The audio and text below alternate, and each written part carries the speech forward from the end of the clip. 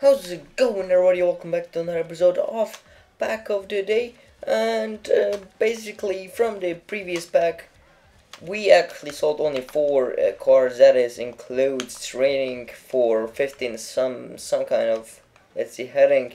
So that is useful for what you call low um, I mean little players that can like that have bad heading. Then we sold fitness as always. Then this mistake he was not planned. And then we have Scumbag Busquets who also went for a decent amount, that is 1k for him. And then from previous episode I made uh, quite a bit of money because I actually won some some some what you call it this online seasons and I didn't store any packs that I usually get. But anyways, that's not going to stop us from the opening a pack. We have Marchisio today. Um, yeah, we're going. To, um, actually, we made. Uh, let me see, let me say that first so we can see it on the screen. We made uh, we sold actually just just short of uh, two and a half big ones, so that means just over five big ones of Lost Stitch, which is a lot. But yeah, what can I say? Just packs don't didn't feel like mm, our thing for the past 40 episodes, and 40 episodes closing in. We've got Miroslav Klose, who now plays for Lazio.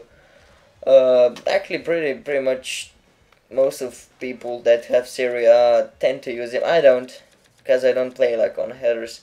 Even though he has a nice heading stats, not really.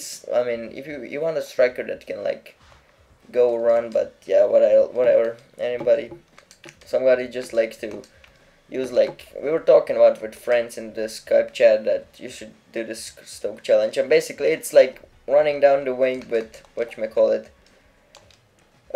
fast players and then just crossing and then let like Peter Crouch or Andy Carroll, any of that of that guys do the job for you. Just head it in like a freaking boss, and that is pretty much it. So if you want to use uh, that Miroslav Klose, he's perfect. If you want build it, build like freaking think and probably hmm, who's already tall. Amauri is pretty tall. Uh, uh, Luca Toni is also pretty tall. So that is decent if you want to do that. I don't I don't tend to use tall players like I mean at CDMs they are nice, at center backs they are nice, but strikers man I just need that pace pace and shooting is all I need at a striker. Oh my goodness, I'm dropping frames to already 30. Be right back. Uh, I think that should fix the lag problem. Uh, where were we? At tall players, yeah, and you have a lot of tall players. They have reflexes.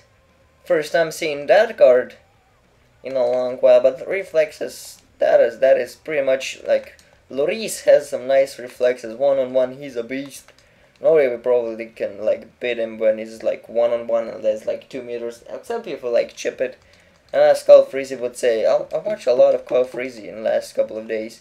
Do you want some salt with those chips? Anyways, that's some discussion about tall players uh, in Serie A and any other um, that's it for this episode of Pack of the Day. Make sure to tune in tomorrow for another one. I'm probably career mode. If not, I'm sorry. Trick shots for with frisbee that me and my friend are recording. So be sure to check out that.